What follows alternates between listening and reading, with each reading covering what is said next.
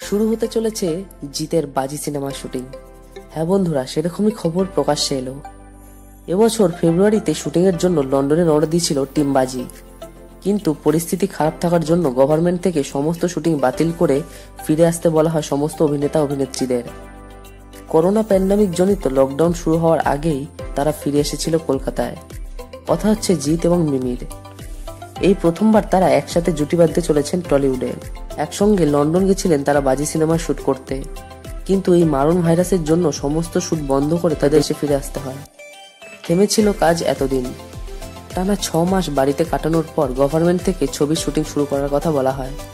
অংশুমান প্রত্যুষ পরিচালিত এই ছবির শুট আবার শুরু করতে চলেছে গোটা টিম। আবার লন্ডন উড়ে যাচ্ছেন তারা। সমস্ত প্রোটোকল মেনে কোভিড টেস্ট করিয়েছেন সকলে। প্রত্যেকের রিপোর্ট নেগেটিভ আসে। সমস্ত নিয়ম মেনেই শুরু হবে এই সিনেমার শুটিং।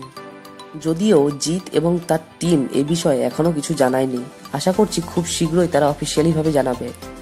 তো বন্ধুরা, জিতের বাজি এবার বাজিমাত করতে তৈরি। তোমরা তৈরি তো?